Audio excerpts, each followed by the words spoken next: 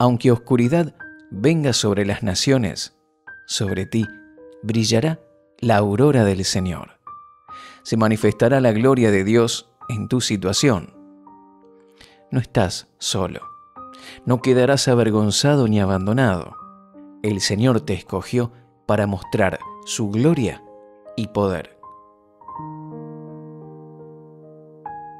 Isaías capítulo 60, versículo 2 dice, Mira, las tinieblas cubren la tierra y una densa oscuridad se cierne sobre los pueblos. Pero la aurora del Señor brillará sobre ti, sobre ti se manifestará su gloria. El Señor trabaja continuamente en sus hijos. Lo hace perfeccionando nuestra fe, moldeando nuestro corazón, transformando nuestra mente y fortaleciendo nuestro espíritu. Las circunstancias nos ayudan a quebrar el orgullo para someternos al Señor. Aquellos que no quieren seguir el consejo de Dios tendrán que enfrentar solos los desafíos, pero los que hemos entregado la vida a Jesús tenemos quien nos fortalezca. El Señor cuida a los suyos, protege y provee para sus hijos en todo tiempo. Fuimos llamados a ser parte de un remanente especial el mundo poco a poco se aleja más de Dios. El pecado abunda, pero nosotros somos luz en medio de esa oscuridad. Donde vamos, llevamos su gloria. Somos bendecidos.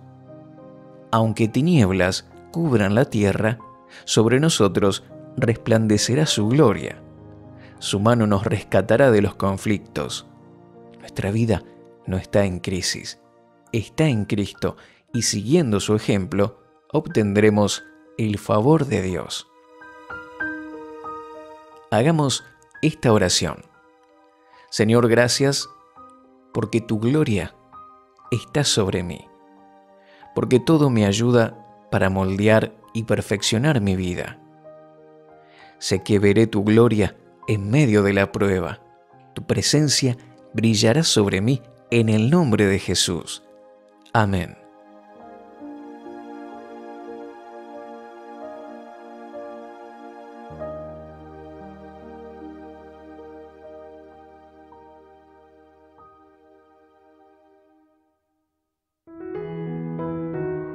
suscríbete a nuestro canal de YouTube y síguenos en redes sociales. avanzapormás.com. Estamos para bendecirte. Ahora dejaremos un espacio de música instrumental para que puedas orar y tener un momento a solas con Dios.